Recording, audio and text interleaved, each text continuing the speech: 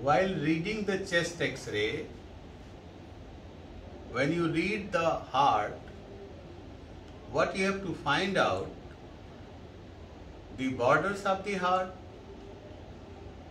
shape of the heart and size of the heart. To know the size of the heart, what you have to know is the maximum diameter of the thorax and the maximum diameter of the heart to find out the cardiothoracic ratio. Normally it is less than 50%. To find it out, this cardiothoracic ratio, I have devised a very simple paper method in which you should take a paper, piece of paper like this and put to know the maximum diameter of the thorax, what you have to put this paper at the highest point of the right dome of the diaphragm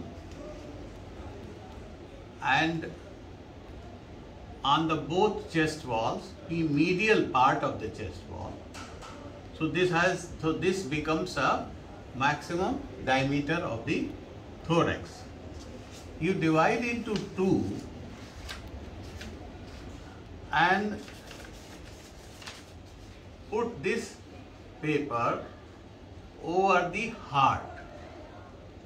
As you see here, if this is, if the heart size is less than this, it means cardiothoracic ratio is less than 50%.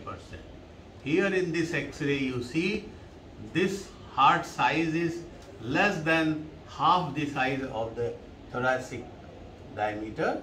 So this is a normal size of the heart. Thank you.